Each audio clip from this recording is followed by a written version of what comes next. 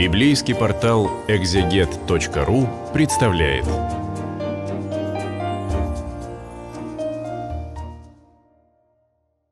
Здравствуйте! Это видео для библейского портала экзегет.ру. Мы продолжим разговор о книге пророка Иеремии и конкретно о 41 главе. В 41 главе мы видим достаточно конспективный рассказ о заговоре и убийстве наместника Гадолии, который э, правил в Иудее по поручению э, царя Вавилонского. Потому что вавилонские цари, Навуходоносор, собственно, э, завоевав Иерусалим, оставили в этой земле некоторого на, на, э, правителя той же народности Гадолию, который к тому же, судя по всему, оказался достаточно эффективным правителем для того, чтобы можно было как-то жизнь снова выстраивать. И против Гадолии составился заговор, некто э, Исмаил, сын Нафании, э, взяли, поразили и убили Гадолию. Вот, собственно, э, все, что и произошло. Э, некоторые детали дальше добавляет 41 глава о том, что э, какие-то люди в разодранных одеждах приходят к этому самому Исмаилу, который готов убить и их тоже, но между ними есть некоторые 10 человек, которые говорят ему, ты знаешь, у нас, мы знаем место, где лежит клад. У нас есть в поле кладовые с пшеницей, и ячменем, и маслом, и медом. Ну, видите как?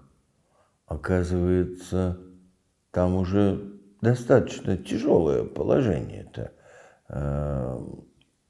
э, чтобы очень даже заинтересовался глава заговора вот этими самыми кладовыми с пшеницей, ячменем и маслом и медом.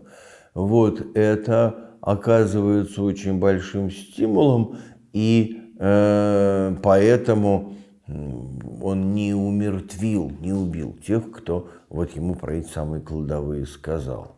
А дальше захватил Исмаил весь остаток народа, бывшего в массифе. Вот, собственно, он захватывает, узурпирует все, что только можно. И последние, последние какие-то э, проблески законности и осмысленности исчезают. И э, вот мы видим, как в Иерусалиме, в земле иудейской, воцаряется какой-то проходимец, у которого никаких оснований для э, вот, власти, для того, чтобы управлять этой землей, нету. При этом э, военачальники бывших царей, которые как-то пытались вокруг Гадолии убитого наместника э, сгруппироваться. Вот они услышали об этих злодеяниях и пошли сражаться. Пошли сражаться. Вот начинается уже гражданская война. И э, этот самый Исмаил, узурпатор, убежал от Иоанана с восемью человеками всего, ушел к сынам Аммоновым, и, собственно, в этой в этом гражданском противостоянии победили сторонники Аханана, э, который в свою очередь был э, сторонником э, наместника Гадолии, убитого Исмаилом. Оказывается, посмотрите, что хаос, который начался с царя Сыдекии, потому что царь Сыдекия не захотел сдаться – у него, значит, вот такой вот, видимо, характер, принципы, не знаю, понятия.